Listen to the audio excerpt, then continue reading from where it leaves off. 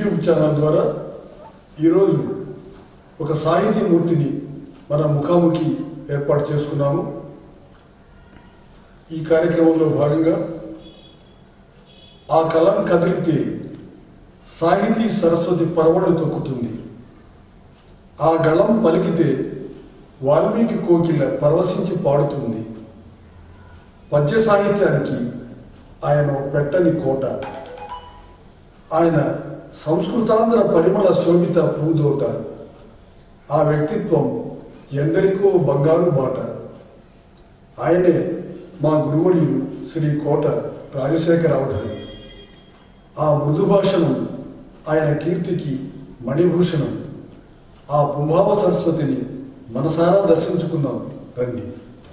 ఈరోజు సరస్వతి పుత్ర YouTube channel మా సాహితీ సంస్థ ద్వారా ప్రముఖ అవధాని మా గురువులీలు అయినటువంటి శ్రీ కోట రాజశేఖర అవధాని వారితో ముఖాముఖి కార్యక్రమాన్ని ఏర్పాటు చేయడం జరిగింది.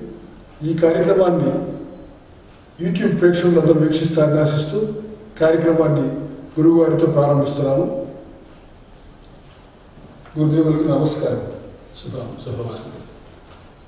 గురువర్య ఈరోజు మా సరస్వతి పుత్ర యూట్యూబ్ ఛానల్ ద్వారా మిమ్మల్ని ఈ సాహితీ లోకానికి సవివరంగా మీ జీవిత విశేషాలను తెలియజేయాలని ఇవాళ ప్రారంభించినటువంటి ఈ కార్యక్రమాన్ని మీతో ముఖాముఖితో మేము అడిగే ప్రశ్నలకు మీరు వివరంగా జవాబిస్తారని ఆశిస్తూ ముందుగా మొదటి ప్రశ్న. మొదట మీ కుటుంబ నేపథ్యాన్ని గురించి వివరిస్తారని కోరుతున్నాను. సంతోషం. ప్రేక్షకులందరికీ కూడా నమస్కారాలు. ముందుగా ప్రార్థన సరస్వతి అమ్మవారి ప్రార్థనతో నా మాటలు ప్రారంభం చేస్తాను. చిరకారుణ్యమతి మహాగుణవతి శృంగార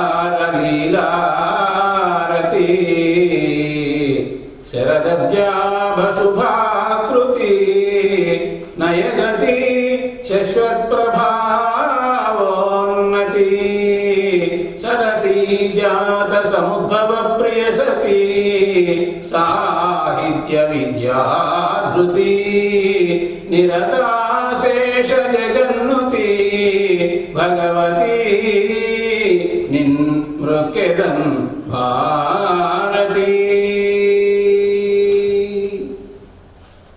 ఆ విధంగా చదువుల తల్లి సరస్వతి అమ్మవారి ప్రార్థనతో ఇప్పుడు ఈ ముఖాముఖి కార్యక్రమంలో పేరుశెట్ల శివకుమార్ గారు సరస్వతి పుత్ర కళాపీఠం తరపున ముఖాముఖి కార్యక్రమం ఏర్పాటు చేశారు కాబట్టి వారితో నా విశేషాలన్నీ కూడా తెలియజేసే ప్రయత్నం చేస్తూ ఉన్నాను.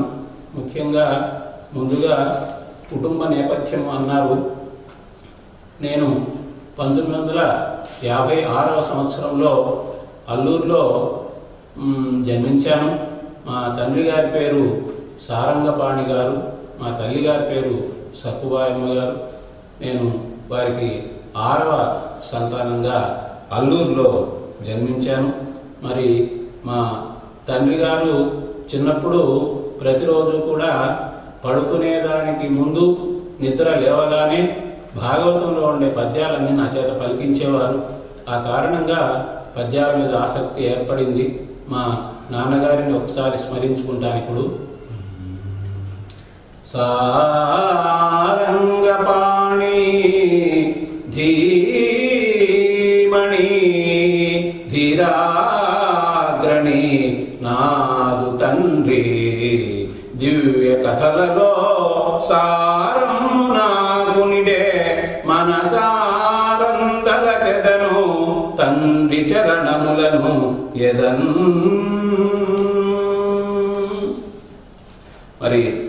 ఆ విధంగా మా తండ్రి గారు యొక్క వారు కూడా పురాణములు అన్నీ కూడా చక్కగా చెప్పేటువంటి వారు. వారి ఆశీస్సులతో ఈ విధంగా నేను కూడా సాహిత్య సేవ చేసేదానికి యథాశక్తి ప్రయత్నం చేస్తూ ఉన్నాను. మా తల్లిగారు సకుబాయమ్మ గారు మరి ఎంతటి సాధ్వి ఎంతటి పరోపకార పరాయణరాలు నేను విడిగా చెప్పలేనండి. సమ్మతితోడ సంతతికి సర్వ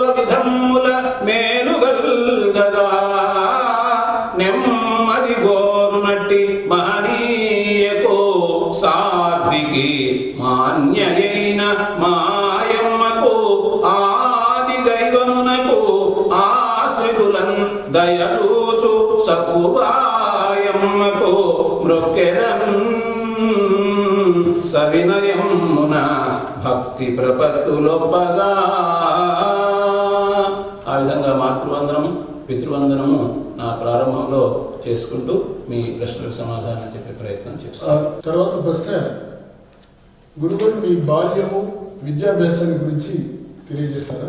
అట్లే తప్పకుండా.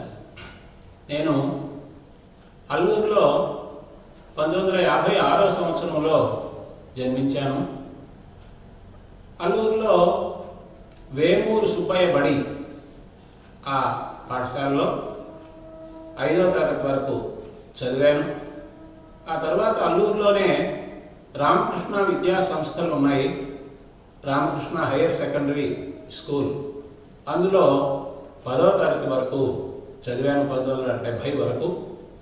ఆ తర్వాత మూలాపేట నెల్లూరు. నెల్లూరులో మూలాపేటలో వేద సంస్కృత కళాశాల. ఆ కళాశాలలో సంస్కృతం ఎంట్రన్స్ చదివాను. ఆ తర్వాత కడప జిల్లాలో ప్రొద్దుటూరులో మలయాళ స్వామి ఓరియంటల్ కళాశాలలో పంతొమ్మిది వందల డెబ్భై రెండు నుంచి పంతొమ్మిది వందల డెబ్భై ఆరు వరకు నాలుగు సంవత్సరాల పాటు ఏ విద్వాన్ అనేటువంటి కోర్సు సంస్కృతము తెలుగు ఈ రెండు అక్కడ మాకు బోధించేవారు. అక్కడ డెబ్భై ఆరులో ఆ ఏ విద్వాన్ కోర్సు పూర్తి చేసి ఆ తర్వాత పండిత శిక్షణ అనేది కూడా అక్కడే ఉంది. పంతొమ్మిది వందల డెబ్భై ఏడవ సంవత్సరము పండిత శిక్షణ పూర్తి చేశాను. ఆ తర్వాత పంతొమ్మిది వందల డెబ్భై తొమ్మిదిలో జిల్లా పరిషత్తులో తెలుగు పండిట్గా నాకు ఉద్యోగం అనేటువంటిది లభించింది. అలా ఉద్యోగం చేసుకుంటూనే నేను సంస్కృతం ఎంఏ ఆంధ్ర యూనివర్సిటీలో ముందు బిఓఎల్ ఆ తర్వాత సంస్కృతం ఎంఏ అనే వాటిని పూర్తి చేశాను. ఆ సంస్కృతం ఎంఏ పూర్తి చేసిన కారణంగా పంతొమ్మిది వందల ఎనభై నాలుగులో మా సొంత ఊరైనటువంటి జన్మస్థలమైనటువంటి అల్లూరులోనే రామకృష్ణ జూనియర్ కళాశాలలో సంస్కృత ఉపన్యాసకులుగా నేను నియమింపబడ్డాను. సంస్కృత ఉపన్యాసకులుగా పంతొమ్మిది వందల ఎనభై నాలుగు నుండి ముప్పై సంవత్సరాల పాటు అక్కడ ఉద్యోగం చేశాను. ఈ విధంగా నా బాల్యము ఆ తర్వాత విద్యాభ్యాసము అనేటువంటివి జరిగాయండి. మరొక ప్రశ్న. మీకు సాహిత్యం మీద అభిరుచి ఎలా కలిగింది? తెలియజేస్తారా? సాహిత్యం మీద అభిరుచి అంటే మా తండ్రి గారు చిన్నప్పటి నుంచి కూడా పద్యాలు నేర్పించేవారు. మా తండ్రి గారు సారంగపాణి గారు కృష్ణాష్టమి పర్వదినం వస్తే భాగవతంలో ఉండేటువంటి కృష్ణ జననం అనేటువంటి ఘట్టాన్ని అందరికీ కూడా వినిపించేటువంటి వారు. ఆ విధంగా అవి వింటూ అలాగే మా ఇల్లు రామాలయానికి ప్రక్కనే ఉండడంతో రామాలయం దగ్గర ప్రతి సంవత్సరము కూడా హరికథలు తొమ్మిది హరికథలు వరుసగా శ్రీరామనవమి నుండి ఏర్పాటు చేసేవారు. కాబట్టి ఉగాది నుంచి శ్రీరామనవమి వరకు ఆ కథలను వినడము సంగీతము సాహిత్యము వాటి మీద ఆసక్తి అనేటువంటిది ఏర్పడింది. మా తండ్రి గారు గురుగ్రహ బలం ఉంది సంస్కృతము తెలుగు చక్కగా నేర్చుకుంటాడనే ఉద్దేశంతో కూడా నన్ను ఓరియంటల్ కళాశాలలో సంస్కృతము తెలుగు చదివేందుకోసంగా పంపించారు అని కూడా తర్వాత నాకు మా తండ్రి గారి మాటల ద్వారా తెలిసింది. ఆ విధంగా ఈ తెలుగు మీద సంస్కృతం మీద మరి పద్యముల మీద ఆసక్తి అనేటువంటిది క్రమంగా పెరుగుతూ వచ్చింది. తర్వాత సక్కుబాయమ్మ గారు మహానుభావుడు సారంగ సారంగపాణి గారికి మీరు ఆరవ సంతానంగా జన్మించినట్టు మీరు చెప్పారు. తర్వాత మీ వివాహ జీవితాన్ని గురించి కూడా తెలియజేస్తారని కోరుకుంటున్నాను. నా ధర్మపత్ని కోట గిరిజాకుమారి తాను కూడా ఓరియంటల్ కళాశాలలో బి విద్వాన్. అంటే తెలుగు పండితురాలుగా విద్య నేర్చుకుంది. ఆమె పండిత శిక్షణ కూడా పూర్తి చేసింది. తర్వాత విద్యావర్ధిని అనేటువంటి ఒక స్కూల్ కూడా నడిపింది. కోవూరులో కూడా ఒక కాన్వెంట్ నడిపింది. మరి వివాహం తర్వాత గృహిణిగానే తన జీవితాన్ని కొనసాగిస్తూ ఉన్నది. నాకు ఇద్దరు అబ్బాయిలు. పెద్ద అబ్బాయి పేరు కోట రూపానంద కుమార్. చదువుకున్నాడు ఎంసీఏ ఇప్పుడు యుఎస్ఏలో సాఫ్ట్వేర్ ఇంజనీర్గా పనిచేస్తూ ఉన్నాడు అలాగే చిన్నబ్బాయి సారంగపాణి మరి తాను కూడా ఎంటెక్ వరకు చదువుకొని ఇప్పుడు యుఎస్ఏలో సాఫ్ట్వేర్ ఇంజనీర్గా పనిచేస్తూ ఉన్నాడు. మరి భగవంతుని అనుగ్రహంతో రామచంద్ర స్వామి అనుగ్రహంతో అందరం కూడా చక్కగా సంతోషంగా కాలం గడుస్తుంది కాలక్షేపం చేస్తూ ఉన్నాం. ఇకపోతే మీ తొలి గురువు గారు ఎవరు? తర్వాత సాహిత్యంలో మీకు గురుతుల్యులుగా మీరు భావించేటువంటి ఆ మహానుభావులు ఎవరు? అంటే గురువులు ఎంతో మంది ఉన్నారు మహనీయులు. ఆ గురువుల యొక్క అనుగ్రహంతోనే ఈ స్థితిని చేరుకోవడం అనేటువంటిది జరిగింది. అయితే ముఖ్యంగా ఇప్పుడు ఈ సాహిత్యము ఆ తర్వాత ధార్మిక ఉపన్యాసాలు వీటికి సంబంధించినటువంటి గురువుల్ని ప్రత్యేకంగా చెప్పుకోవాలి అంటే నేను కడప జిల్లా మృతుటూరులో మలయాళ స్వామి కళాశాలలో చదువుకునేటువంటి రోజుల్లో నరాల రామారెడ్డి గారు వారు నాకు గురువర్యులు. అలాగే అవధానంలో కూడా మెలకువలన్నీ కూడా నేర్పించారు శ్రీ నరాల రామారెడ్డి గారు ప్రముఖ అవధాన కవి.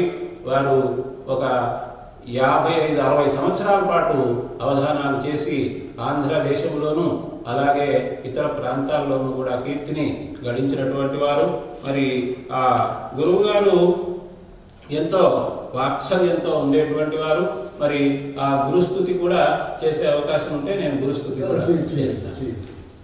నరాల రామారెడ్డి గారు ఎంత గొప్పవారంటే పదియారు వర్షాల పసిడి ప్రాయమునందే అవధాన రంగాన అడుగు పెట్టే పాండిత్య గరిమకు ప్రాధాన్యమీయక భావ కవన శైలి పాదుగొలిపే తెలుగు రాష్ట్రముల దేశ విదేశాల శాస్త్రమధిగమించే అవధాన కేడిలో అనువాద శైలిలో సౌవ్య సాచిత్వం సంతరించే హాలగాధలనున్న అందాల దింపే సురుచిరవధాన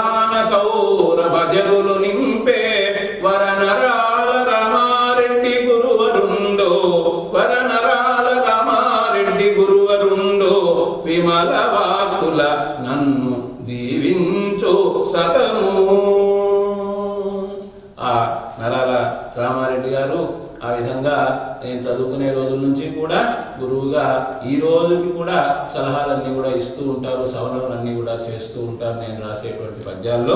అలాగే నేను ఈ మధ్య ఒక సంవత్సరంగా శ్రీ సీతారామ కళ్యాణం అనేటువంటి గ్రంథాన్ని పద్య గ్రంథాన్ని అంటే శ్రీమద్ రామాయణంలో వాల్మీకి మహర్షి రచించినటువంటి రామాయణంలో ఉండేటువంటి బాలకాండను అనువాదం చేస్తూ ఉన్నాను. దానికి ప్రతిరోజు కూడా నేను రాసేటువంటి పద్యాన్ని చక్కగా సరిచూస్తూ ఉన్నారు గురువర్యులు శతావధాని సూరం శ్రీనివాసులు గారు. వారు ఎంతో మహనీయులు భారతాన్నంతా కూడా లక్ష శ్లోకాలని కూడా మరి అనువాదం చేస్తే భావాలను భావాలు రాస్తే తాత్పర్యాలు రాస్తే అన్నింటినీ కూడా గీతా ప్రెస్ గోరఖ్పూర్ వాళ్ళు దాన్ని ముద్రించారు అంటే ఎంత గొప్పవారో ఎంత గొప్ప పాండిత్యం వారికి ఉన్నదో అనేది తెలుస్తూ ఉన్నది. సౌమనస్యం అనేటువంటి గొప్ప గ్రంథాన్ని కూడా రాశారు. ముఖ్యంగా శిష్యుల మీద వారికి ఉన్నటువంటి వాత్సల్యం ఇంత అంతా కాదు. ఏ నిమిషంలో అడిగినా కూడా అది చక్కగా ప్రామాణికంగా సమాధానం చెప్తూ ఉంటారు సందేహాలు తీరుస్తూ ఉంటారు శిష్యులందరికీ కూడా. వారికి కూడా ఒక పద్యరత్నాన్ని సమర్పించే ప్రయత్నం చేస్తూ ఉన్నాను. వచన గేయము గాని పద్య కావ్యము గాని సత్కవితాధారజాలు వారు అమర భాషను గాని ఆంధ్రమునను గాని అసమాన పాండిత్యమతిశయిల్లో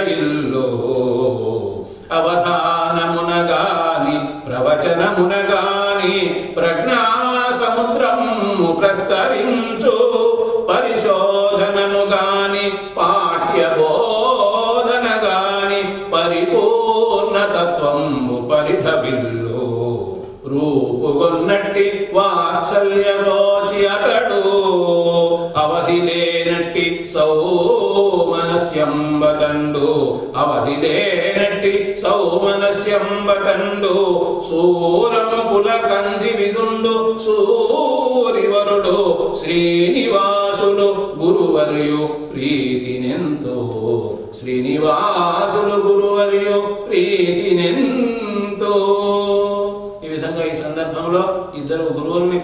తలుచుకునేదానికి అవకాశం కల్పించారు. చాలా ధన్యవాదాలండి.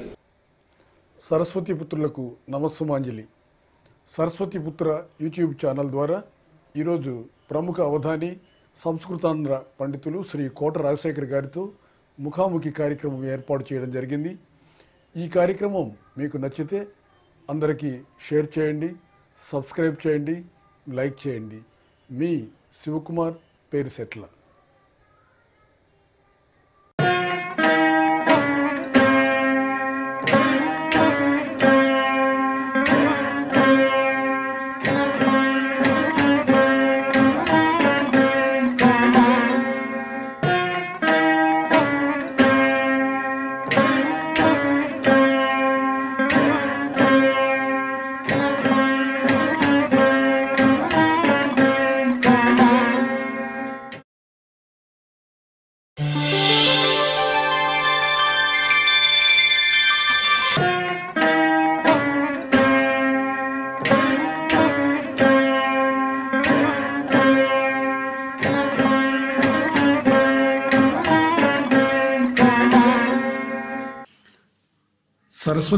పుత్రులకు నమస్సులు సరస్వతి పుత్ర కళాపీఠం యూట్యూబ్ ఛానల్ ద్వారా ప్రముఖ పండిత కవి ప్రవచక వాచస్పతి అవధాని శేఖరులు శ్రీ కోట రాజశేఖర అవధాని గారితో ముఖాముఖి రెండవ భాగానికి స్వాగతం సుస్వాగతం.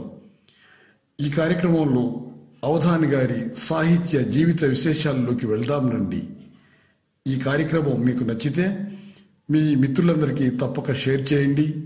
లైక్ చేయండి సబ్స్క్రైబ్ చేయండి. తర్వాత ప్రశ్న మీరు ఎక్కువగా అభిమానించేటువంటి మీ మిత్రులు ఎవరు? ఎక్కువగా అభిమానించే మిత్రులంటే ఎక్కువగా ఎప్పుడు కూడా సాహిత్యంతోనే మెలుగుతూ ఉంటాను కాబట్టి సాహిత్యంలో నాకు ఒక మూడు సంవత్సరాల నుంచి నాలుగు సంవత్సరాల నుంచి పరిచయమైనటువంటి మిత్రులు శంకరాభరణం అనేటువంటి వాట్సాప్ ద్వారా పరిచితమైనటువంటి మిత్రులు శ్రీ చిత్తోటి విజయ్ కుమార్ గారు వారు కష్టావధానులు. వారు ఎప్పుడు కూడా ప్రతిరోజు కూడా ఎక్కడ ఉన్నా సరే బాంబేలో ఉన్నా సరే నాగపూర్లో ఉన్న అమెరికాలో ఉన్న ఎక్కడ ఉన్నా సరే నేను ఫోన్ చేస్తాను వారైనా ఫోన్ చేస్తారు. ఆ విధంగా మేము సాహిత్యంలో ఉండేటువంటి విషయాన్ని చర్చ చేసుకుంటూ ఉంటాము. వారు నాకు ప్రధానమైనటువంటి మిత్రులు అని తప్పకుండా చెప్పుకోవాల్సినటువంటి అవసరం ఉన్నది. అలాగే మరొక మిత్రులు నేను రాసేటువంటి ఈ పద్యాలని కొన్ని పద్యాలు ఎంపిక చేసి వాటిని చిత్రీకరణ చేస్తూ ఉన్నారు. మరి నాయుడు గారి జయన్న అని గద్వాల్ జోగులాంబ జిల్లా గద్వాల్లో. మరి వారు నాకు ఆత్మీయమైనటువంటి మిత్రులు అని చెప్పుకోవాల్సినటువంటి అవసరం ఉన్నది. అంతేకాకుండా అనేక సందర్భాల్లో నా దగ్గరికి వచ్చినటువంటి మీరు కూడా నాకు మిత్రులు. చక్కగా చాముండేశ్వరి శతకము అనేటువంటి చాముండేశ్వరి సుప్రభాతం అనేటువంటి గ్రంథాన్ని రచించినటువంటి మీరు స్వయంగా రచన చేస్తూ పద్యాలన్నీ కూడా వ్రాస్తూ రాష్ట్ర స్థాయిలో అనేక విధములైనటువంటి బహుమతులన్నీ కూడా పొందుతూ అంతేకాకుండా సరస్వతి పుత్ర కళాపీఠం ద్వారా మళ్ళీ మీరు ఈ విధంగా ఎన్నో సేవా కార్యక్రమాలు చేపడుతూ ఉన్నారు. మీరు నాకు ఆత్మీయ మిత్రులు అని నేను తెలియజేసుకుంటూ మీకు ధన్యవాదాలు తెలియజేసుకుంటున్నాను. నేను మీకు మిత్రుడు అనే కంటే నేను మీ శిష్యుడిగానే మీ చేత పిలిపించుకోలేదు నా కోరిక. అది మీ వినయానికి నిదర్శనం అండి. తర్వాత మరొక ప్రశ్న. మీ పిల్లలకు సాహిత్యం పట్ల అభిరుచి ఉన్నదా? పిల్లలు ఇద్దరు ఉన్నారు. పెద్ద అబ్బాయి రూపానంద కుమారు చిన్న అబ్బాయి సారంగపాణి. పెద్దబాయి ఎంసీఏ చదువుకున్నాడు. మరి ఎక్కువగా ఆ సాఫ్ట్వేర్ ఇంజనీర్ దానికి సంబంధించినటువంటి విజ్ఞానం మీద ఎక్కువ శ్రద్ధాశక్తులు ఉన్నాయి. అట్లాగే చిన్నబ్బాయి కూడా ఎంటెక్ చదివిన కొద్దిగా సాహిత్యం మీద కొద్దిగా ఆసక్తి శతక పద్యాలు కొన్ని నేర్చుకున్నాడు. అంతవరకే తప్ప వారు వాళ్ళ యొక్క రంగంలో ముందుకు వెళుతూ ఉన్నారు. అందువలన వారికి ప్రత్యేకంగా ఈ సాహిత్యం మీద అభిరుచి అంటే కొంత పెద్ద అబ్బాయి కంటే చిన్న అబ్బాయికి కొంత ఆసక్తి అనేటువంటి ఉందండి తర్వాత మేడం గారు కూడా తెలుగులో పాండిత్యం ఉన్నది అని చెప్పారు కదా. మేడం గారు ఏదైనా కావ్యాలు రచించారా? లేదు లేదు లేదు. వారు చక్కగా గురువుగా విద్యావర్ధిని అనే స్కూల్ కానీ శారదానికేతన్ కోవూరులో స్కూల్ కానీ వాటిల్లో చక్కగా గురువుగా పిల్లలకి అన్ని విధాల విద్యాబుద్ధులు నేర్పిస్తూ కాలక్షేపం చేశారు. అంతవరకు ఆమె తర్వాత గృహిణిగా తమ విధులన్నీ కూడా చక్కగా నిర్వహిస్తూ నేను చేసేటువంటి సాహిత్య కార్యక్రమాలన్నిటికీ కూడా సంపూర్ణమైనటువంటి సహకారాన్ని అందజేస్తూ నా ఏకాగ్రత అనేటువంటి దానికి నిత్యం కూడా సహకరిస్తూ నన్ను దోహదపరుస్తూ అభివృద్ధి మార్గంలో నడిపిస్తూ ఉన్నది మా శ్రీమతి కోట గిరిజా కుమారి. తర్వాత మీరు సాహిత్యానికి ఇంత సమయాన్ని మీ ఆర్థిక వనరుల్ని వెచ్చిస్తారు కదా? ఈ విషయంలో మీ కుటుంబ భద్రత మీకు ఎలా ఉంటుంది? తెలుసుకోవాలని కోరుతున్నాను అంటే ఒక ఆరేళ్ళ క్రిందటి వరకు ఉద్యోగం చేస్తూ ఉన్నాను. సంస్కృత ఉపన్యాసకులుగా అల్లూరులో రామకృష్ణ జూనియర్ కళాశాలలో. ఇప్పుడు పదవి విరమణ అయిపోయిన తర్వాత ఆరేళ్ళు అయింది. ఇక పిల్లలు ఇద్దరు కూడా దూరంగా విదేశాల్లో ఉన్నారు. కాబట్టి నాకు సమయం అంతా కూడా ఈ సాహిత్యంతోనే సరిపోతుంది. మరి ఏదైనా చదువుకోవడం ఏదైనా పద్యాలు రాసుకోవడం అలాగే దేవాలయాల్లో రామాయణము భాగవతము భారతము ఇవన్నీ కూడా చెప్తూ ఉండడం దీంతో కాలక్షేపం అవుతూ ఉంది. మరి అన్ని విధాలా కూడా మా శ్రీమతి సహకరిస్తూ మరి ఏదైనా సరే ఒక పుస్తకాలు కొనుక్కోవాలనుకున్నా కానీ లేదన్నా ఒక పుస్తకాలు ముద్రించాలనుకున్నా కానీ తప్పకుండా ఎటువంటి మా పిల్లలు కూడా మీకు పుస్తకాల ముద్రణకు కానీ దేనికి కానీ డబ్బులు అవసరం అయితే అడగండి పంపిస్తామంటారు. అయితే యథాశక్తి నా దగ్గర ఉన్నటువంటి డబ్బునే ఉపయోగిస్తూ కాలక్షేపం చేస్తున్నాను వారు ఇచ్చేదానికి సిద్ధంగా ఉన్నారు. మా శ్రీమతి కూడా ఎప్పుడు కూడా ఏనాడు కూడా ఏ కార్యక్రమానికి ఏదైనా కళాశాలలో కొంత విరాళం ఇవ్వాలి అని అనుకున్నా ఎప్పుడూ కూడా అడ్డు అనేటువంటిది లేకుండా ప్రోత్సహిస్తూ ఉంటుందండి. చాలా సంతోషం. తర్వాత మీకు పద్య సాహిత్యమే కాక ఇతర ప్రక్రియలు అంటే కథానికలు.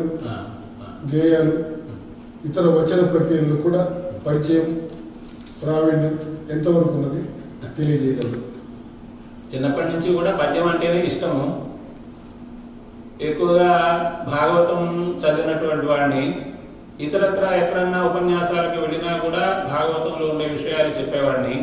తిరుమల తిరుపతి దేవస్థానం ధర్మ ప్రచార పరిషత్ వాళ్ళు కూడా నాలుగు జిల్లాల్లో ఇప్పుడు కడప జిల్లా నెల్లూరు జిల్లా చిత్తూరు జిల్లా ప్రకాశం జిల్లాలో కూడా ఉపన్యాసాలకి ఈ ధార్మిక ఉపన్యాసాలు పిలిస్తే అక్కడ కూడా భాగవతమే చెప్తూ ఉండేటువంటి వాడిని కాబట్టి పద్య గ్రంథాలే నాకు ఇష్టమైనటువంటివి.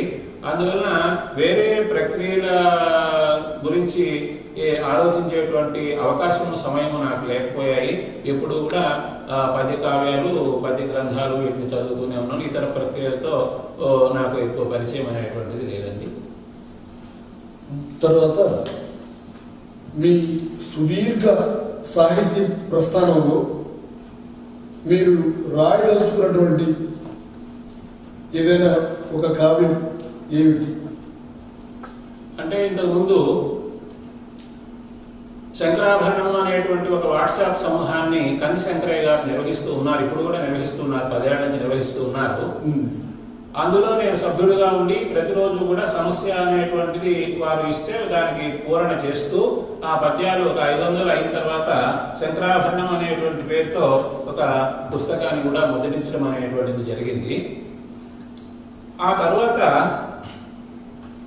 ప్రస్తుతము నా గురువులైనటువంటి శ్రీ నరాల రామారెడ్డి గారు కానీ తర్వాత శ్రీ సూరం శ్రీనివాసులు గారు కానీ ఇంకా పెద్దలు కానీ నాకు సలహా ఇచ్చారు. ఒక కావ్యాన్ని వ్రాస్తే బాగుంటుంది అని. అందువలన ఇటీవల నాకు విజయ కృష్ణరాజు అనేటువంటి ఒక మిత్రుడు కూడా సలహా ఇచ్చాడు. సీతారామ కళ్యాణం అనేటువంటి గ్రంథం రాయండి అని. అందువల్ల సీతారామ కళ్యాణం అనేటువంటిది రాయాలి అనుకున్నాను. అంటే రామస్వా రామచంద్ర స్వామి జననం మొదలుకొని కళ్యాణం వరకు. అంటే వాల్మీకి మహర్షి యొక్క రామాయణంలో ఉండేటువంటి బాలకాండ ఆ బాలకాండ అంతా కూడా సంపూర్ణంగా అనువాదం చేయాలి. ఒక ఆరు వందల యాభై పద్యాల్లో అనువాదం చేయాలి అనుకున్నాను. ఒక సంవత్సర కాలం నుంచి నేను రాస్తూ ఉన్నాను. ఇప్పటికి ఆరు వందల పద్యాల దగ్గరకు అయినాయి. ఇంకొక యాభై పద్యాలు రాస్తే అది పూర్తవుతుంది. ఒక రెండు నెలల్లో మూడు నెలల్లో పుస్తకం తయారవుతుందని నేను అనుకుంటూ ఉన్నాను. కాబట్టి శ్రీ సీతారామ కళ్యాణం అనేటువంటి కావ్యం రాయడంతో నా జన్మ ధన్యమవుతుందని నేను భావన చేస్తూ ఉన్నాను. గురుగారు ఆ, వాల్మీకి మహర్షి మొదలు విశ్వనాథ్ వారి వరకు ఎందరో మహానుభావులు వివిధ ప్రక్రియల్లో రామాయణాన్ని రచించారు కదా అవును. అటువంటి రామాయణాన్ని మళ్ళీ మీరు రాయాలనేటువంటి కోరిక కాంక్ష ఎలా కలిగింది రామాయణంలో సీతారామ కళ్యాణం అనేటువంటి పేరుతో గ్రంథం రాయాలి అని నేను అనుకున్నాను దీనికి కారణం ఏమిటంటే ఇంతకుముందు కని శంకరయ్య గారి శంకరాభరణం బ్లాగ్లో సమస్యాపూరణ రాస్తూ ప్రతిరోజు ఐదు వందల పద్యాలు అయిన తర్వాత రోజుకో పద్యం శంకరాభరణం అనేటువంటి పేరుతో ఒక పుస్తకాన్ని ముద్రించడం జరిగింది. ఆ సమయంలో పెద్దలు గురువులు అందరూ కూడా ఏదో ఒక కావ్యం రాయి అని సలహా ఇచ్చారు. మా గురువు గారు శ్రీ నారా రామారెడ్డి గారు అలాగే శ్రీ సూరం శ్రీనివాసులు గారు ఇలాగ మిత్రులందరూ కూడా గురువులందరూ కూడా. అందువలన ఏ కావ్యం రాయాలి అనుకుంటూ ఉంటే విజయకృష్ణరాజు అనేటువంటి మిత్రుడు కూడా ఆయన సీతారామ కళ్యాణములను చేయిస్తూ ఉంటారు. అందువలన ఆయన సలహా చెప్పారు సీతారామ కళ్యాణం అనేటువంటి కావ్యం రాయమని. ఇంకొకటి ఏంటంటే బాల్యం నుండి కూడా నేను రామమందిర ప్రాంతంలోనే ఉండినాను. బాల్యం నుండి రామచంద్ర స్వామి మీద ఆరాధనా భావం అనేటువంటిది ఎక్కువగా ఉన్నది. మరి ప్రపంచమంతా కూడా వెతికినా రామచంద్ర స్వామికి ఉన్నటువంటి సుగుణములు ఎవరికీ కూడా లేవు. గుణాహ పూజాస్థానం గుణిషు నచ లింగం నచ వయ అని అంటారు కాబట్టి ఆ గుణములలోనే అందరూ కూడా రామచంద్ర స్వామిని ఆరాధిస్తూ ఉన్నారు. అందువలన ఆ రామచంద్ర స్వామి కథను రాయాలి. రామ రాస్తే రామాయణం రాయాలి వింటే భారతం వినాలి రాస్తే రామాయణం రాయాలి అన్నట్లుగా కాబట్టి ఆ రామకథను నేను రాయాలి అని అనుకున్నాను. ఆ విధంగా ముందుకి వెళుతూ ఉన్నానండి. తర్వాత ఇప్పుడు రాస్తున్నటువంటి ఆధునిక పద్య కవుల్లో మీకు అత్యంత ప్రీతిపాత్రమైనటువంటి కవి ఎవరు? ఆధునిక కాలంలో పద్య కవులు ఎంతో మంది ఉన్నారు. అయితే సుకవి జీవించు ప్రజల నాలుకల మీద అని అంటారు కదండి. ఆ విధంగా ఎవరి పద్యాలు అయితే ప్రజల నాలుకల మీద నాట్యం చేస్తూ ఉన్నాయో అటువంటి ఆ కవులను నేను ఎక్కువగా ఇష్టపడుతూ ఉన్నాను. వేమన గారు ఆధునిక కాలంలో చెప్పేట్లయితే దువ్వూరి రామరెడ్డి గారు ఆయన కవికోకల. వారు చాలా చక్కగా మధురంగా పద్యాలు రచిస్తారు. అలాగే నవయుగ కవి చక్రవర్తి గుర్రం జాషువా గారు వారి పద్యాలు అందరూ కూడా ఇష్టపడతారు మధురంగా ఉంటాయి.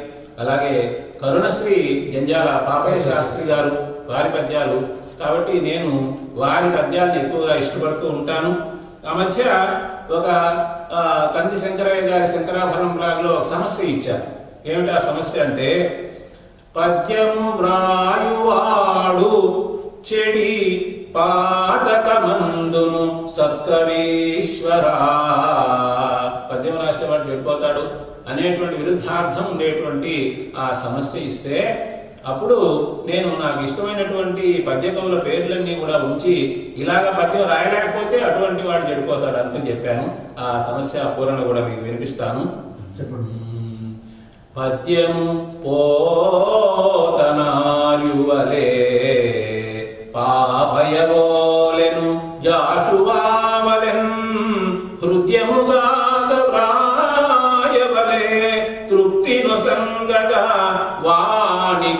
నైవేద్యముగా బళీయనుచు విశ్వము మెచ్చ రసము పండగా. పద్యము వ్రాయగాదగునే వంచనతో కుక విశ్వరూపుడై పద్యము వ్రాయువాడు చెడి పాతకమందును సత్కవీశ్వరా కుక విశ్వరూపుడై పద్యం వ్రాయువాడు చెడి పాతకమందును సత్కవీశ్వరా. అద్భుతమైన పూర్ణ. ఆ సమస్య పూరణలో ఈ కవుల యొక్క మరి జంధ్యాల పా- పాపయ్య శాస్త్రి గారు అలాగే జాషువా గారు అలాగే ప్రాచీన కవుల్లో పోతన్న గారు ఆ విధంగా వాళ్ళ వల్లే పద్యాలు రాయాలి అని నేను నా భావనలో అనుకుంటూ ఉన్నానండి. గురుగారు మరో ప్రశ్న. మీ దృష్టిలో కవిత్వం ఎలా ఉండాలి అని మీరు కోరుకుంటున్నారు? కవిత్వం ఎలా ఉండాలి అంటే కావ్యం యొక్క ప్రయోజనాలని అలంకారికులు చాలా గొప్పగా చెప్పి ఉన్నారు.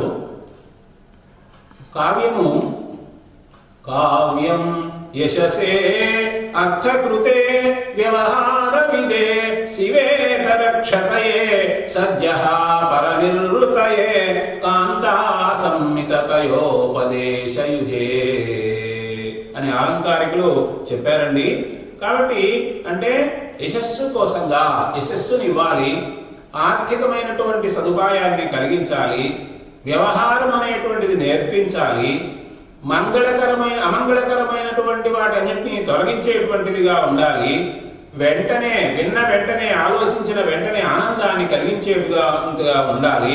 అలాగే ఉపదేశాత్మకంగా కూడా సమాజానికి ఒక హితమును ఉపదేశించే విధంగా కవిత్వం ఉండాలని అలంకారికులు ఆనాడు చెప్పినారండి.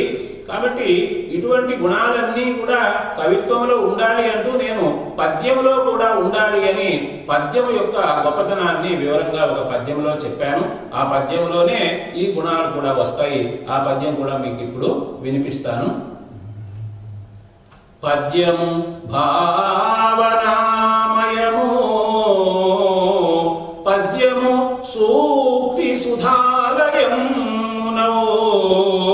పద్యము రాగరంజితము. భారతి మెచ్చడి భూషణమునో. పద్యము భాషకే వరము పండిత పామర రంజకమునో. పద్యము లోక పూజితము పద్యము హృదయము శాశ్వతమునో. ఈ పద్యంలో ఏ గుణాలైతే చెప్పబడ్డాయో ఈ గుణాలన్నీ కూడా కవిత్వంలో కూడా ఉంటాయి ఉండాలి అన్నట్టుగా నా భావన అండి. తర్వాత ఈ ఆధునిక కాలంలో పద్యం యొక్క స్థితిగతులు ఎలా ఉన్నాయని మీరు అనుకుంటున్నారు? ఆధునిక కాలంలో ప్రాచీన కాలంతో పోలిస్తే పద్యం యొక్క స్థితి కాస్త వెనకబడుతూ ఉంది అని మనం అనుకుంటూ ఉన్నా జాగ్రత్తగా పరిశీలించినట్లయితే ఎంతోమంది పద్యం యొక్క వైభవాన్ని మళ్ళీ తీసుకొని రావాలని ప్రయత్నం చేస్తూ ఉన్నారు. ముఖ్యంగా ఇటీవల ఉన్నటువంటి వాట్సాప్ సమూహాల్లో శంకరాభరణం అనేటువంటి సమూహాన్ని కనిశంకరయ్య గారు పది సం- పది సంవత్సరాలుగా నడుపుతూ ఉన్నారు. అందులో సమస్యలు ఇస్తూ ఉన్నారు దత్తబదులు ఇస్తూ ఉన్నారు నిష్పాక్షులు ఇస్తున్నారు నిషిద్ధాక్షలు ఇస్తున్నారు. వాడన్నింటినీ ఎంతో మంది వందల మంది ప్రతిరోజు మనం గమనించినట్లయితే వందల మంది రెండు వందల మూడు వందల మంది కూడా పద్యాలు రాస్తూ ఉన్నారు. అటువంటి వాట్సాప్ సమూహంలో అది ఒక్కటే కాకుండా పద్యభారతి అనేటువంటి సంస్థను చదలవాడ లక్ష్మీ నరసింహారావు గారు ఒంగోలు వారు ప్రారంభం చేశారు. ఇంకా తెలుగు పద్య వైభవము అని అనేక విధములైనటువంటి నాకు తెలిసి ఒక ఇరవై సమూహాలు పద్యాన్ని చక్కగా అభిమానిస్తూ పద్యాన్ని ప్రోత్సహిస్తూ ఉన్నాయి. మరి వీటన్నిటినీ మనం పరిగణలోకి తీసుకున్నట్లయితే కొంతవరకు పద్యానికి పూర్వ వైభవం అనేటువంటిది వస్తూ ఉన్నది అనేటువంటి విషయాన్ని మనం గమనించవచ్చండి. తర్వాత మీరు మీ సుదీర్ఘ సాహితీ ప్రయాణంలో మీరు పొందినటువంటి సన్మాన సత్కారాలు బిరుదులు వాటి గురించి వివరిస్తారా? బిరుదులు అంటే ఒక మూడు నాలుగు సంవత్సరాల క్రిందట నెల్లూరులోనే కళాదీప్తి అనేటువంటి సంస్థ నడుపుతూ ఉన్నారు సుబ్రహ్మణ్యం గారు. ఆ కళాదీప్తి అనేటువంటి సంస్థ పక్షాన అవధాని శేఖర అనేటువంటి బిరుదాన్ని వారు ఆ సంస్థ పక్షాన ప్రసాదించారు. మరి అంతా కూడా ఆ సరస్వతి అమ్మవారి అనుగ్రహము అని అనుకోవాలి. మరి సుమారుగా నేను చదువుకునేటువంటి రోజుల నుండి కూడా అవధానాలు చేస్తూ ఉన్నాను. నాకు పద్దెనిమిది సంవత్సరాల వయసు అప్పటి నుంచి కూడా అప్పటి నుంచి అందరూ అవధాని అని పిలుస్తూనే ఉన్నారు. అట్లాగే సత్కారాలు సన్మానాలు సభలు అంటే అవి ఎన్నో జరిగాయి. సుమారుగా ఒక ఇరవై ఏళ్ళ క్రిందట రవీంద్ర భారతిలో పన్నెండు మంది అవధానుల మధ్యలో ఒక అవధానిగా సత్కారాన్ని పొందాను. ఇటీవల రెండు వేల పన్నెండులో ప్రపంచ తెలుగు మహాసభలు జరిగినప్పుడు తిరుపతిలో అక్కడ ముప్పై మూడు మంది అవధానుల మధ్యలో ఒక అవధానిగా నేను సత్కారాన్ని పొందడం అనేటువంటిది జరిగింది. నేను ఉపాధ్యాయుడిగా సంస్కృత ఉపన్యాసకులుగా పనిచేస్తూ రాష్ట్ర ప్రభుత్వం వాళ్ళు ఉత్తమ ఉపాధ్యాయ అనేటువంటి అవార్డును కూడా నాకు ఇచ్చారు. రవీంద్ర భారతిలో హైదరాబాద్లో ఆ కార్యక్రమం అనేటువంటిది జరిగింది. అలాగే అనేక సందర్భాల్లో ఎంతోమంది రాజకీయ ప్రముఖులు అధికారులు అందరూ కూడా సత్కారాలు చేశారు. అవధానం చేసినానని అలాగే ఉత్తమ ఉపాధ్యాయ అనేటువంటి ఆ భావంతో ఇవన్నీ కూడా చక్కగా చేశారు. మరి ఇటీవల ఒక రెండు సంవత్సరాల క్రిందట హైదరాబాద్లో పత్రిజీ ఆయన పిరమిడ్ ధ్యానం గురువు ఆయన కట్టాల్ అనేటువంటి ప్రదేశానికి పిలిపించారు అక్కడ కూడా అంబరీషోపాఖ్యానం అనేటువంటిది ఒక గంటసేపు చెప్పాను. వారు చక్కగా సత్కారం అనేటువంటిది చేశారు. అట్లాగే అల్లూరులో నేను పనిచేసేటువంటి రోజుల్లో అల్లూరుకి గొల్లపూడి మారుతీరావు గారు సినీ నటులు వచ్చారు. వారు కూడా నాకు అక్కడ సత్కారం అనేటువంటిది చేశారు. అట్లాగే అల్లూరులో డిగ్రీ కళాశాలకు నెల్లూరు విక్రమసింహపూర్ యూనివర్సిటీ రిజిస్ట్రార్ వీళ్ళందరూ కూడా వచ్చారు.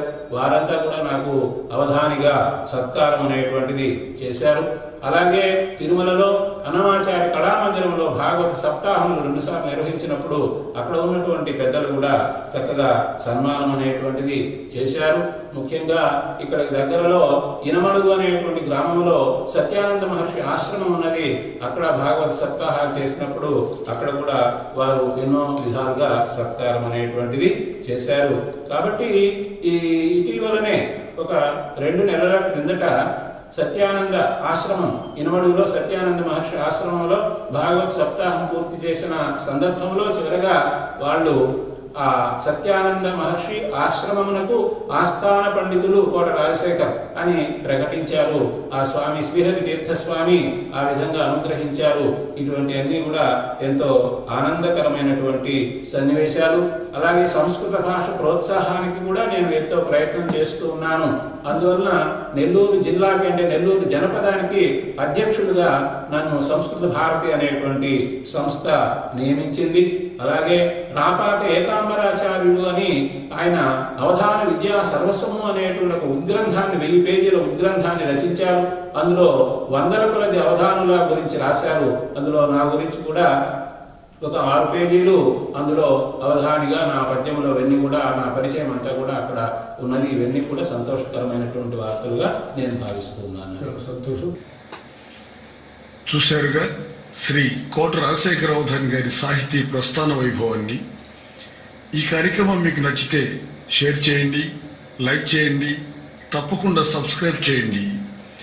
ఆ మహాపండితుడి మరిన్ని జీవిత విశేషాలను మూడవ భాగంలో ఇంకా తెలుసుకోవాలనుకుంటే మా సరస్వతి పుత్ర యూట్యూబ్ ఛానల్ కోసం ఎదురు చూస్తూనే ఉండండి. మీ శివకుమార్ పేరిసెట్ల సరస్వతీపుత్ర కళాపీఠం.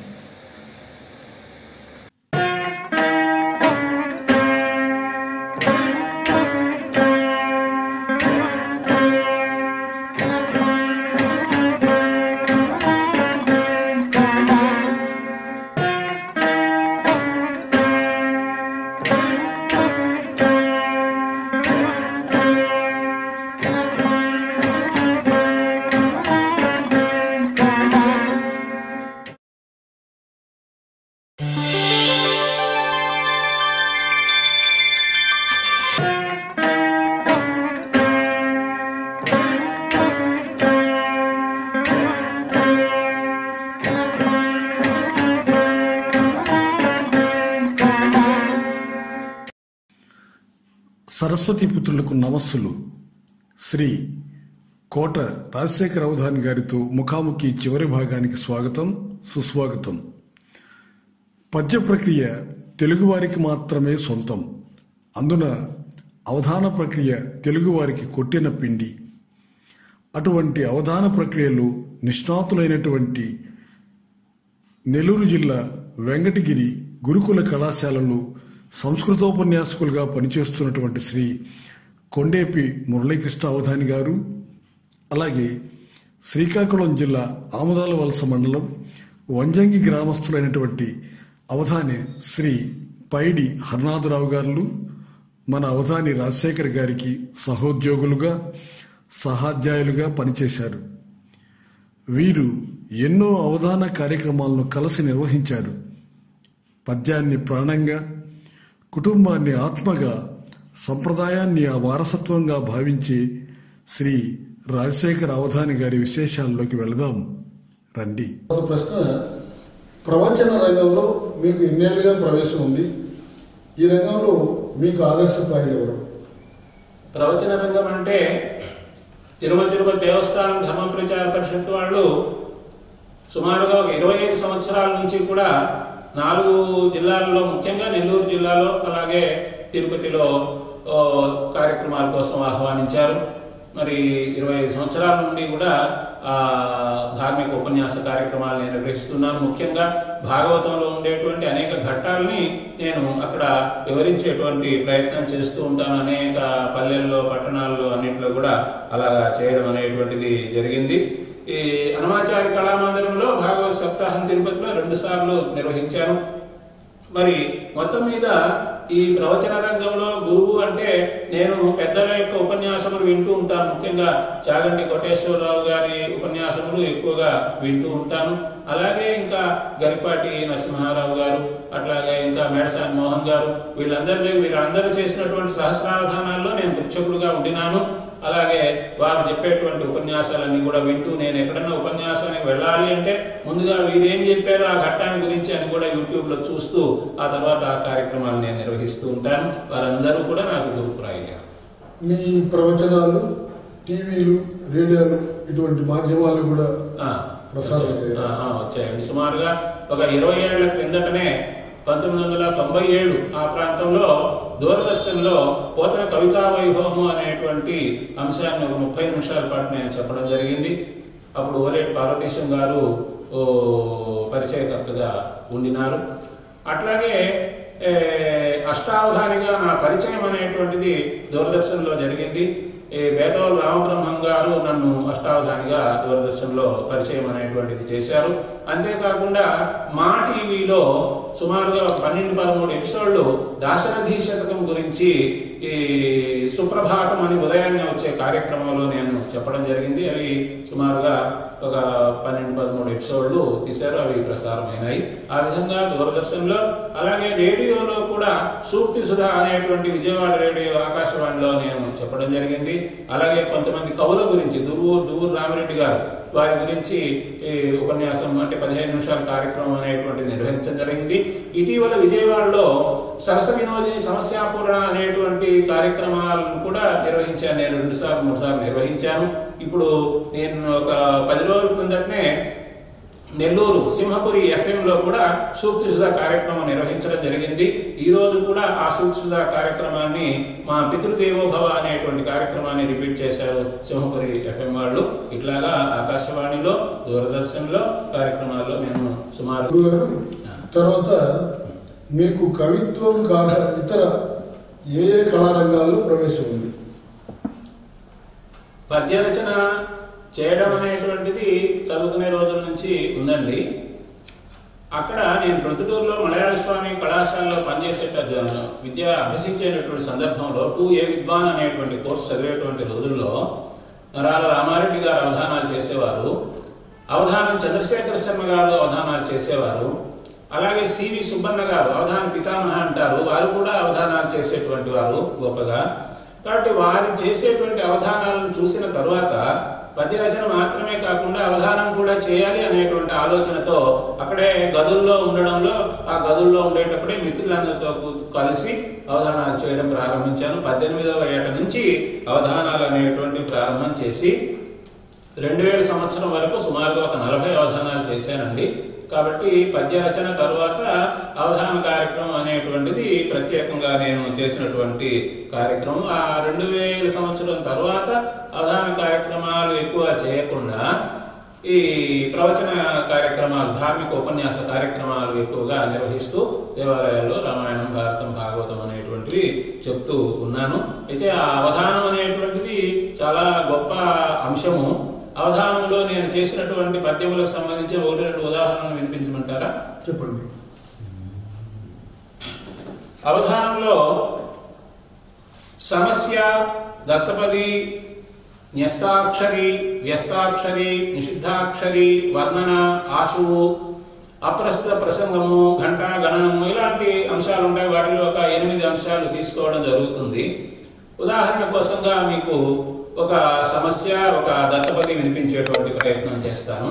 సమస్య ఎట్లా ఉంటుంది అంటే సమస్య అంటే పద్యం యొక్క నాలుగో పాదం ఇస్తారు. ఆ నాలుగో పాదం అనేటువంటిది విరుద్ధమైనటువంటి అర్థంతో కూడి ఉంటుంది. మీకు ఉదాహరణ ఏంటంటే కారము కన్నులంబడగా కల్గదె మోదమదెల్లవారికి కారం కళ్ళల్లో పడితే అందరికీ ఆనందం కలుగుతుంది కదా అని ఇందులో ఉండేటువంటి విరుద్ధమైనటువంటి అర్థము. మరి దీనికి సంబంధించినటువంటి పూరణను నేను తెలుగు ప్రపంచ మహాసభల్లో కూడా తిరుపతిలో కూడా నేను వినిపించాను. మరి ఆ పూరణ అనేటువంటి దాన్ని మీకు ఇప్పుడు తెలియజేసే ప్రయత్నం చేస్తూ ఉన్నాను. అంటే తెలుగు సభల్లో ప్రపంచ తెలుగు మహాసభల్లో అక్కడ ఉన్నటువంటి తెలుగు వైభవాన్నంతా చూచినప్పుడు తెలుగు తల్లి అక్కడ ప్రత్యక్షమైంది అన్నమాట ఆ సందర్భంలో. శ్రీరమణీయమౌ తెలుగు చిత్తమునందున ముద్రవే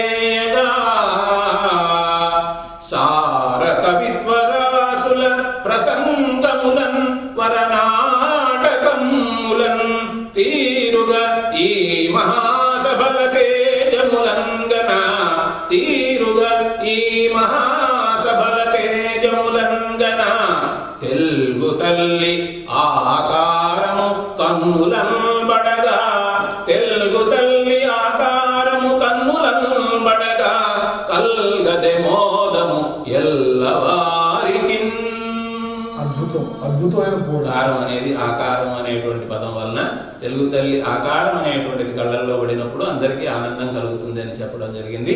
ఇలాగే కడప జిల్లాలో అవధానం నేను చేసినప్పుడు అక్కడ వాళ్ళు మహాభారతంలో ఉండేటువంటి నాలుగు పదాలు ఇచ్చి ఈ పదాలని రామాయణ పరంగా ఉంచి రామాయణ కథను చెప్పండి అని అడిగినారు.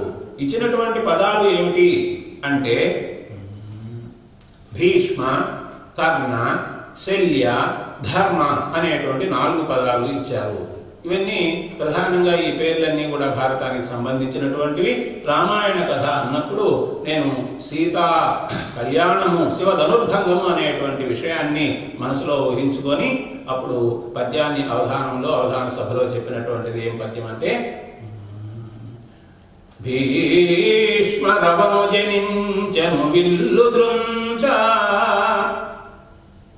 భీష్మరవము విల్లు తృంచ దృంచ పేయం సీతకు గాంచనదియే. శల్యముడు కృంగ్య పరరాజ సరణికపుడు ధర్మరూపుడు పెండాడే ధరణి సుతను.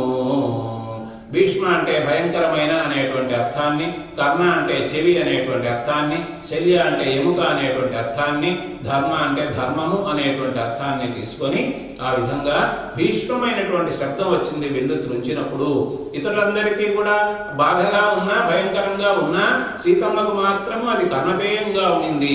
ఆ సమయంలో ఇతర నాదుల యొక్క ఎముకలన్నీ కృంగినంత పని అయింది ధర్మస్వరూపుడైనటువంటి రామచంద్ర స్వామి సీతమ్మను వివాహం అడినాడు అనేటువంటి ఆ శివధనుర్భంగ ఘట్టాన్ని ఆ పదాల్లో కూర్చి చెప్పడం జరిగింది. ఆ విధంగా మరి ఇటువంటివి ఎన్నో ఉదాహరణలు ఉన్నాయి. తర్వాత మీ కమ్మనైన కంఠస్వరాన్ని ఎన్నిసార్లైనా వినాలనిపిస్తుంటుంది. మరి మీరు గాత్ర సౌలభ్యం కోసం ఏదైనా సంగీత సాధనలు చేస్తుంటారా? ఏదైనా సరే సాధనమున పనులు సమకూరు ధర ధరలోన. అనగా ననగా రాగం అతిశయిల్లుచునుండు అని అంటూ ఉంటారు కాబట్టి నేను చిన్నతనంలో మా అల్లూరు గ్రామంలో బాల్యంలో శ్రీరామనవమి సందర్భంగా జరిగేటువంటి వరుస హరికథలన్నింటినీ చక్కగా ఆసక్తితో మా పెద్దవాళ్ళు తీసుకొని పోతే నేను వింటూ ఉండేటువంటి వాడిని కాబట్టి ఆనాటి నుండి కూడా సంగీతము రాగము వీటి పేర్లు అనేటువంటివి తెలియవు కానీ సంగీతం అంటే ఎంతో ఇష్టము. ఆ విధంగా ఆనాడు అది ఆ పద్యాలన్నీ కూడా హరిదాసులందరూ గానం చేసినటువంటి పద్యాలన్నీ విన్న కారణంగా నేను అలాగే దాన్ని కొనసాగిస్తూ అభ్యాసం చేస్తూ సొంతంగా ఈ విధంగా ఏదో అర్థవంతంగా శ్రావ్యంగా వినిపించేటువంటి ప్రయత్నం చేస్తున్నాను భగవంతుని అనుగ్రహంతో. ఎప్పుడు పద్యం అన్నా కూడా అందరూ కూడా బాగుంది అనేటువంటి మాట అంటూ ఉన్నారు. అది ఆ పరమాత్మ యొక్క అనుగ్రహం. మీరు సంగీత జ్ఞానం తెలియదు అంటూనే మీరు పలికే ప్రతి పద్యంలో ఎన్నో రాగాలు స్ఫురిస్తుంటాయి. అది మీకు భగవంతుడు ఇచ్చిన వరంగా నేను భావిస్తున్నాను. తర్వాత ప్రశ్న మీరు ఎంతో ప్రీతిపాత్రంగా రాస్తున్నటువంటి శ్రీ సీతారామ కళ్యాణ కావ్యం ప్రస్తుతం ఏ దశలో ఉంది? అంటే గత సంవత్సరం నవంబరు మూడవ తేదీ నా పుట్టినరోజు అప్పుడు నేను ప్రారంభం చేశానండి. ఈ సంవత్సరం నవంబర్ మూడుకు పూర్తి కావాలి అనుకున్నాను కానీ కొన్ని అనివార్య కారణాల వల్ల కొద్దిగా ఆలస్యం అవుతుంది ఇంకొక నెలలో నెల రెండు నెలల్లో పూర్తి అవుతుంది అని నేను అనుకుంటూ ఉన్నాను. సీతారాం కళ్యాణం అనేటువంటి కావ్యము పద్య కావ్యము వాల్మీకి మహర్షి యొక్క శ్రీమద్ రామాయణంలో ఉండేటువంటి బాలకాండకు సంపూర్ణమైనటువంటి అనువాదం కొద్దిగా సంగ్రహం చేయడం జరిగింది. ఆరు వందల యాభై పద్యాలతో దాన్ని తీర్చిదిద్దాలి అనేటువంటి ప్రయత్నం చేస్తూ ఉన్నాను. ఈ ప్రయత్నానికి ఎంతోమంది పండితులందరూ కూడా సహకరిస్తూ ఉన్నారు. నేను రాసిన తర్వాత మా గురువులకి నరా రామారెడ్డి గారికి శ్రీ సూరం శ్రీనివాసులు గారికి ఇంకా ఆ, విజయ్ కుమార్ ఇట్లా పెద్దలైనటువంటి వాళ్ళకి పంపిస్తాను. వాట్సాప్ సౌకర్యం ఉంది కాబట్టి వారు చూచి ఏదైనా అవసరమైతే మరి సవరణలు వ్యాకరణ పరంగా కానీ ఏదైనా కానీ అలంకార పరంగా కానీ లేదు పదాలు మార్చవలసి ఉన్న భావం మార్చవలసి ఉన్నా తెలియజేస్తూ ఉంటారు. ఆ విధంగా తెలియజేస్తూ ఉన్నారు కాబట్టి అలా ముందుకు సాగుతూ ఉన్నాను గురువుల యొక్క అండతోటే. ఇప్పుడు ఇంకొక నెల రెండు నెలల్లో ఆరు వందల యాభై పద్యాలు పూర్తి అవుతాయండి. ఇంకొక మూడు నెలల్లో ఆ పుస్తకం కూడా తయారవుతుందని అంతా రామచంద్ర స్వామి యొక్క అనుగ్రహం. తర్వాత మీ సాహితీ జీవితంలో మీకు బాగా తృప్తి ఇచ్చేటువంటి ప్రశంస ఏమిటి? ప్రశంస అంటే ఇటీవల దగ్గరలో ఉన్నటువంటి ఇనమడుగు గ్రామంలో దగ్గర లే ఆశ్రమంలో సత్యానంద మహర్షి ఆశ్రమంలో వారు భాగవత సప్తాహం పూర్తయిన తర్వాత ఆస్థాన పండితులు అనేటువంటి ఈ విషయాన్ని తెలియజేశారు. అది చాలా ఆనందాన్ని కలిగించిందండి. అంతేకాకుండా ఆ ప్రక్కనే లేగుంటపాడు అనేటువంటి గ్రామంలో జట్టి రామచంద్రారెడ్డి గారు ఒక మూడు సంవత్సరాల కిందట నా చేత వాల్మీకి రామాయణాన్ని పది రోజుల పాటు చెప్పించారండి. ఒక్కొక్క రోజు ఒక్కొక్క కారణం ఉన్నట్లుగా కొంచెం ఎక్కువ చేసి పది రోజులు చెప్పించారు. అప్పుడు అక్కడ నూట యాభై మంది భక్తులు కదలకుండా అలాగే శ్రద్ధగా ఒకటిన్నర గంట సేపు అలాగే వింటూ ఉండినారు. మరి ఆ గ్రామాన్ని ఆ గ్రామ ప్రజలని ఆ జట్టి రామచంద్రారెడ్డి గారిని ఎప్పుడు కూడా మర్చిపోను. అంత ఆసక్తి కనబరిచినటువంటి గ్రామం అదే. చ- సంతృప్తిని ఇచ్చిందండి. అలాగే తిరుమల తిరుపతిలో అన్నమాచార్య కళామందిరంలో సప్తాహాలు భాగవ సప్తాహాలు నిర్వహించినప్పుడు కూడా నాకు ఆనందం సంతృప్తి అనేటువంటిది కలిగింది. అలాగే ఇప్పుడు మీరు చక్కగా నన్ను పరిచయ కార్యక్రమం అనేటువంటిది ఏర్పాటు చేసి ముఖాముఖి అంటున్నారు. ఈ సందర్భంలో కూడా పరమానందంగా ఉన్నది ఈ సందర్భం అనేటువంటిది. తర్వాత నేను అడిగిన ఎన్నో ప్రశ్నలకి సావధానంగా ఎంతో ఓర్పుతో ఎంతో తృప్తితో మీరు ఇచ్చిన సమాధానాలకి నేను శిరస వంచి మీకు ధన్యవాదాలు తెలియజేసుకుంటున్నాను. ఈ సందర్భంలో ఇంకొక మాట మాట్లాడాలి తర్వాత ఇంకేమైనా అడగండి అడగండి చెప్పండి గురుగారు మీరు చెప్పండి మీరు అడగండి. ఏంటంటే ముఖ్యంగా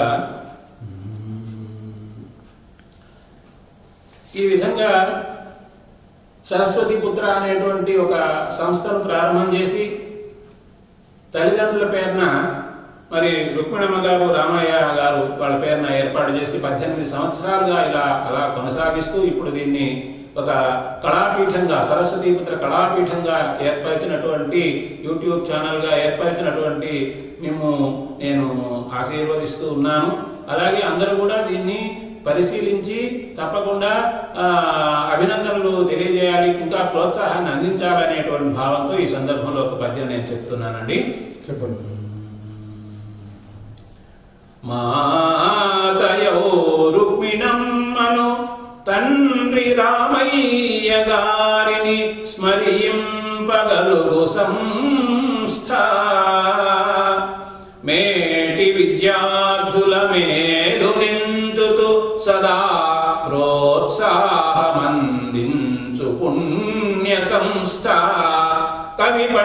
పండితావళిన్ ఘన కళాకారుల గుర్తించి సత్కృతిన్ గూర్చు సంస్థ. సంగీత సాహిత్య సౌజన్యమూర్తుల భక్తి సన్మానించు భవ్య సంస్థ. పా ఎన్న సరస్వతీ పుత్ర సంస్థ పాత్రము. ఎన్న సరస్వతీ పుత్ర సంస్థ పేరిసెట్ల శివకుమార సూరి కథన ప్రీతి రూపొందే ఒక కళాపీఠమగుచు. పాత్రము ఎన్న సరస్వతీ పుత్ర సంస్థ పేరిసెట్ల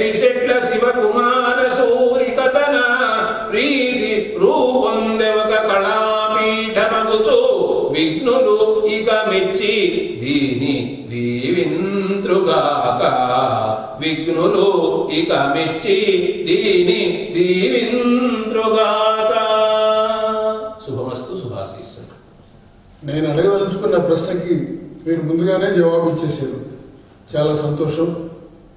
ఇంత సుదీర్ఘ సమయం మా సరస్వతి పుత్ర యూట్యూబ్ ఛానల్ కోసం మీరు ఇచ్చినటువంటి ముఖాముఖి కార్యక్రమానికి మీకు హృదయపూర్వక పాదాభివందనాలు తెలియజేసుకుంటూ భగవంతుని ఆశీస్సులు. మీ ఆశీస్సుని కోరుకుంటున్నాను. నెల్లూరు దాపున అల్లూరు గ్రామము పంటలల్లూరు నాన్ ప్రతితము. అందు రామ మందిర వర ప్రాంత నివాసియో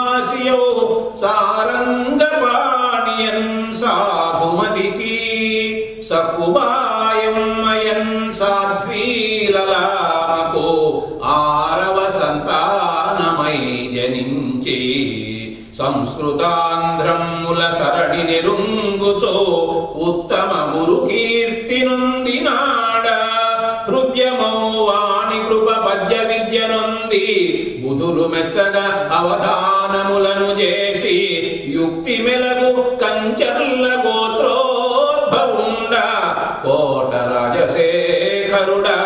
నిన్గొలుతు రామా. ఇది నా సీతారామ కళ్యాణంలో నా గురించి నేను రాసుకున్నటువంటి పరిచయ పద్యం అండి. ధన్యవాదాలు. చూశారుగా? శ్రీ కోట రాజశేఖర అవధాన్ గారి సాహితీ ప్రస్థాన వైభవాన్ని. ఈ కార్యక్రమం కనుక మీకు నచ్చితే షేర్ చేయండి లైక్ చేయండి తప్పకుండా సబ్స్క్రైబ్ చేయండి. ఆ మహాపండితుడి జీవిత విశేషాలను మూడు భాగాలుగా ఇంతవరకు తెలుసుకున్నారు. అదేవిధంగా వచ్చే వారం మరో మహా సాహితీవేత్తతో ముఖాముఖి కార్యక్రమం జరుగుతుంది. ఆ కార్యక్రమం కోసం ఎదురు చూస్తూనే ఉండండి. మీ శివకుమార్ పేరుశెట్ల సరస్వతి పుత్ర కళాపీఠం.